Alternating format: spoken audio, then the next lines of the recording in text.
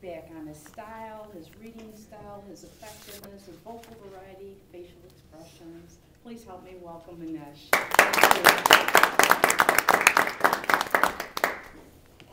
Thank you, Madam Toastmasters, fellow members, and guests.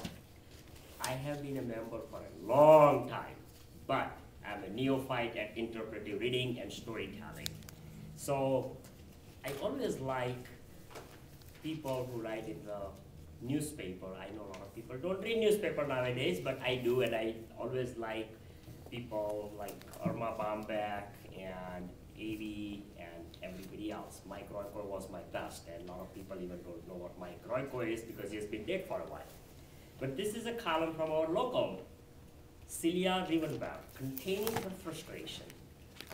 After an exhausting day of work, errands and laundry, her youngest child asked, Mama, where do all these missing socks go? Responded a weary and impatient mom, they went. They went to live with Jesus. This explanation has worked very well for assorted dead hamster, guinea pigs, goldfish, and yes, it works for socks too. Does this also explain the wacky abundance of mismatched plastic containers and lids in my kitchen cabinet? Did their mates go to live with Jesus? How is it possible that there are six square bottoms for sandwich keepers and only three square tops, none of which fits any of the six tops? Are they on vacation? Did they stop getting along and got a divorce? I realize that there are more important matters in life to ponder, but I really can't think of any single one right now.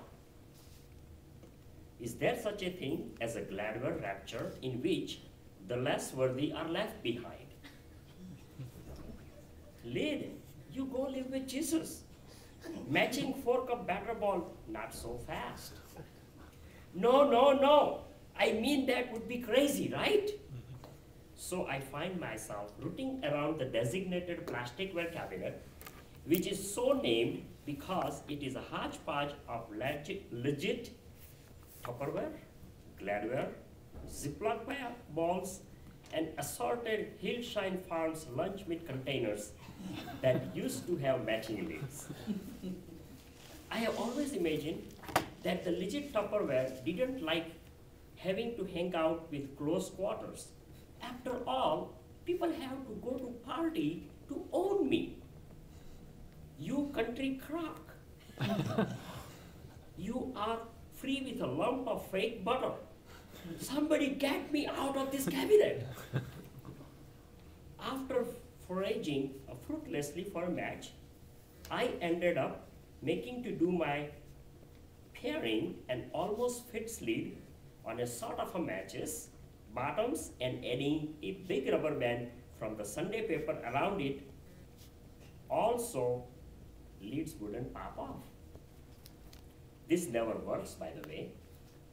The princess waxed as all get out because my sort of fit system resulted in mandarin orange juice forming a sticky sea in the bottom of her lunchbox. Asked, why didn't you just use the ones that are meant to go together? Yes, why didn't I? None of this scratching solves the mystery, of course. Actually, one Rubbermaid mystery was solved when I discovered that the top had fallen into the heating element at the bottom of my dishwasher and melted. I scraped up the element with a spatula, so tiny and now so flat. Hmm. Taken before its time. Irrationally said, I immediately puts its mat into service holding paper clips, which unlike containers, multiply throughout the night with abandon. Same with the twisty ties from the braids and the rolls. Paper clips and twisty ties are the sluts of the utility drawer. Am I right? Oh, also, whatever battery you don't need, there will be tons of those. They went. They went to live with Jesus. Madam Toastmaster.